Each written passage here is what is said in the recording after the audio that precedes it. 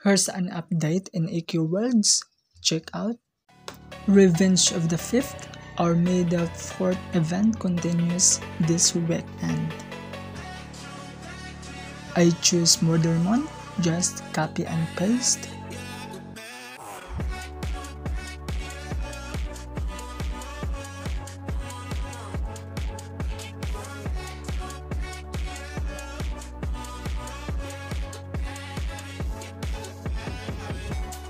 Click this in PC, you can get a lot of items there and Dark Lord class.